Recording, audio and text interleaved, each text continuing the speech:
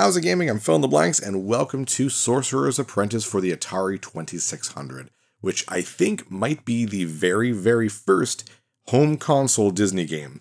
There were a couple other Disney video games before that, um, but they were both for the Game & Watch as far as I could find out on the internet. Uh, so this is, yeah, this might be the very first Disney game for a home console. Let's just get right in there. And it looks exactly what you'd expect a Mickey Mouse Atari game to look like. Mickey in all his epic glory. This is obviously based on The Sorcerer's Apprentice, the scene from Fantasia, where Mickey dons the sorcerer's hat and uh, messes up a bunch of things by bringing a bunch of brooms to life and flooding, uh, flooding the, the, the house basically. And uh, this recreates that fairly well for an Atari game. It is two games when we get down to it. We're right now kind of shooting stars and meteors with with fireball, I guess. It's very weird. But if you leave the side of the screen and go down here, now you're in the room with the brooms and buckets that are kind of at war with each other. So let's go back up there. Let's explain the actual game. So there are stars and there are meteors coming down. From what I can gather from from the manual, it's if you let the stars go down through the little mountain path there, uh, they become brooms that'll bring water in, and you don't want that. And the meteorites are, uh, if you destroy them, they become the buckets that bring the water out. So you see right here, we got a little broom, oh, and the, bucket and brooms. And the brooms will always push the buckets back down. So you need to kind of attack the brooms with Mickey. So let's get a few of these. Get some brooms going, I guess. Um, you can also catch stars with your hat, but the manual doesn't say why you'd want to do that. I think it maybe just for points or something. I have no idea. Uh, and the bottom, the orange line at the bottom is how much water is in the room. So it's a high score game. They almost always were back then. That's it was very rare that they weren't. If it was like a sport game, maybe, but there were a few adventure e games. But most of the time, it was a high score game. I already have a thousand points. You want to attack the brooms without stepping off the uh, stairs because that will make you fall. And you need to get all of the brooms, or else the buckets cannot make it to the top and drain the area. See the water rises as they keep going down. Oh, I fell off, and that pen penalizes you by making making go really slowly back up.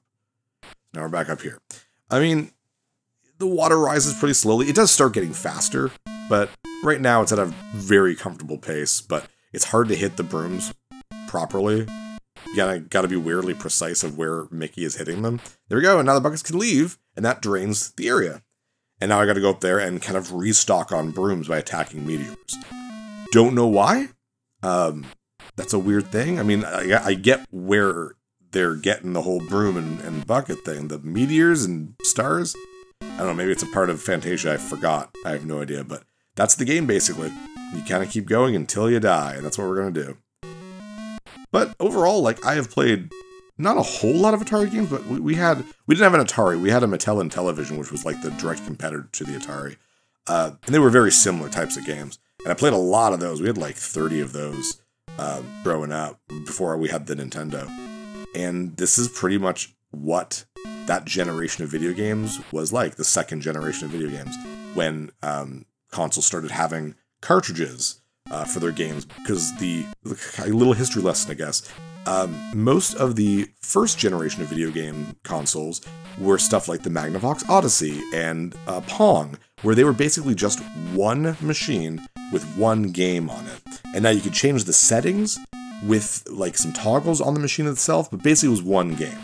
Um, and I think, uh, don't quote me on this, I think it's the Fairchild Channel F that was the first game console with like interchangeable cartridges. It's been a long time since I've, I've like read up on my history of this stuff. But basically, the second generation was where uh, interchangeable cartridges, each cartridge holding a game, was the norm became the normal thing. Uh, the Atari 2600 was clearly the winner there. Uh, and then you had like the Mattel Intellivision, the ColecoVision, uh, games like that, machines like that. This is like kind of what they all sort of looked like. Um, they were very, very basic. The beeps and boops were very beeps and boops. Uh, and that's why when Nintendo like brought the Famicom over as the Nintendo Entertainment System was such a big deal because these games were leaps and bounds anything we've we had ever seen in North America. Uh, music wise, graphic wise, was incredible. And uh, even though the Famicom was released in '83, in Japan, it was released here as the Nintendo Entertainment System in 85. By that point, Super Mario Brothers was a thing, and oh, the water's getting really high. Uh, and you can see like the difference between an Atari game and a Nintendo game. Uh, now, obviously, the Nintendo does have some like very arcadey, uh, high score games, obviously, but they were closer to like arcade, like perfect, not perfect, but like you could play Donkey Kong on it, you could play Galaga, you could play Galaxian and Pac Man. Uh, so that was pretty cool. Oh, oh, I was like a couple. I thought all my buckets were gone. No, no. If even one broom gets past me, all my buckets get pushed down. So it's very difficult. But it looks like I am. Uh, no, it's coming back up. Uh, I need. Come on, I need some. Yes, there we go. Yes, my buckets go. No, no, no, no, no. Damn. You also also can't go into the water past like where I am right now. Uh, so it gets much harder the more water there is. It's very frustrating. I need more. I need more buckets. It starts getting overwhelming pretty quickly. But it's fun. Like I said, I've played a lot of these games for the television, and it was pretty cool. My favorite one actually was a Mattel Intellivision game called Astroblast. Growing up, that was probably my favorite. We had, we had quite a few of them, Lock and Chase, and a lot of sport games, which I didn't really care about other than like bowling. But yeah, this is what video games were like, boys and girls. Question of the day. Are you old enough to be a, a, part of that old generation of video games like the Intellivision and the Atari? I'm getting screwed. I'm gonna die. Here, here we go. Yeah, um, I technically was. I was born in '85. The NES was out. We didn't get one until uh, 1990, I think. So I grew up with a lot of these kind of smaller games, and I played some NES like Cousins House and that sort of thing. But yeah, we're screwed. This is it. Still though, it's a lot of fun. Like it, these are kind of games you just sit down, play with a couple friends, maybe get high scores. Uh, if you can, get the Atari 50th anniversary, uh, whatever it's called, for the um, PlayStation, Xbox, and Switch. It is fantastic. It has so much history in it. Oh, oh, we died. Oh well. Yeah, I get that if you like this type of older older type of game, but that is what video games were like before Nintendo came to town. I'm Phil the Blanks. See you next level. Hey, thanks for watching. If you liked this episode, click that subscribe button and hit the bell icon to know when the next episode is up. If you want to support my channel, share some videos with some friends and consider supporting me on Patreon.